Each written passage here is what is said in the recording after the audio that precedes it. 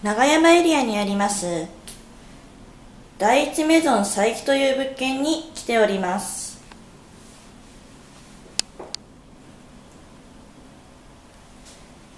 室内に洗濯機置き場があります。こちらはお風呂で。こちらがトイレとバストイレ別のお部屋となっております。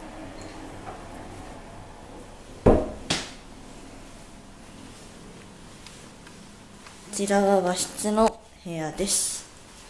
で1台エアコンがついております。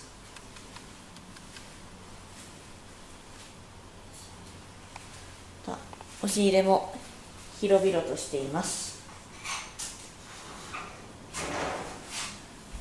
キッチンと居室はガラス戸で仕切れるようになっております。この他にも多様な物件情報がございますので下記リンクよりアクセスをお願いいたします。